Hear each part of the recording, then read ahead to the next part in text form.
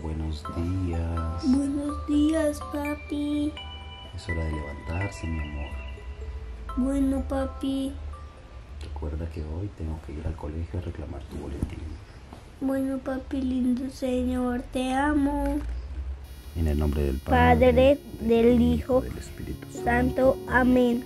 Gracias, papito Dios, Dios por, el día que me diste, por, el día que, que. Cuídanos y protégenos hoy y siempre. Amén. En el nombre del Padre, del Hijo, y del Espíritu Santo. Amén. Bueno, mi amor, alístate que voy a prepararte un desayuno bien rico. Uy, sí, papi. Me gustan los desayunos tuyos, papi. Mm.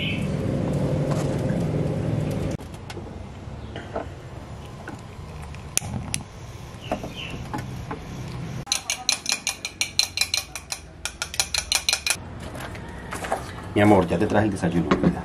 Gracias, papi. Te amo. Te amo.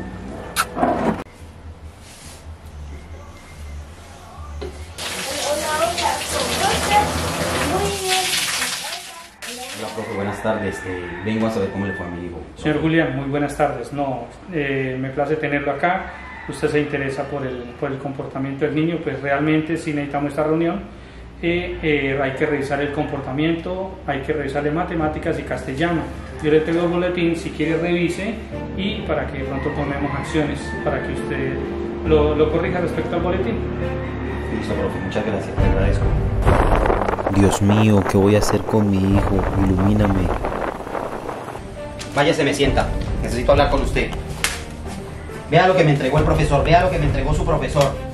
Ese comportamiento suyo, niño. Y las materias se fue mal. ¿Qué voy a hacer yo con usted? No sé qué voy a hacer con usted. ¿Me va a tener que dar cohete o qué?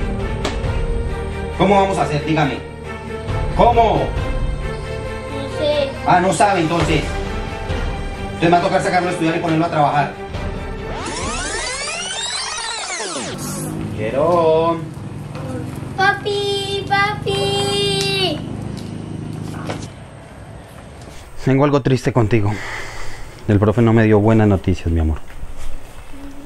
Te fue mal, me dice que, que te, no te estás comportando bien, que hay situaciones que hay que mejorar en el colegio.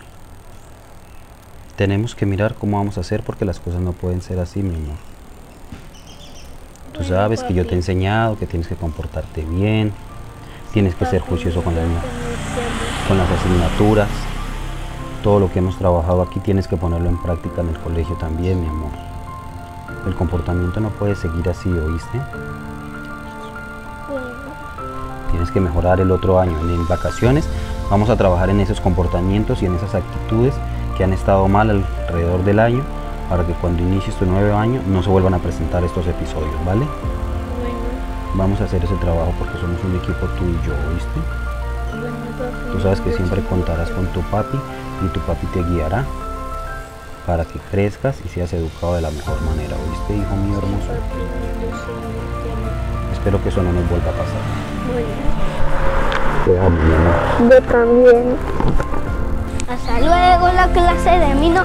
Con amor y comprensión debemos educar a nuestros hijos. Con amor. Hasta luego la clase de mí no. Adiós.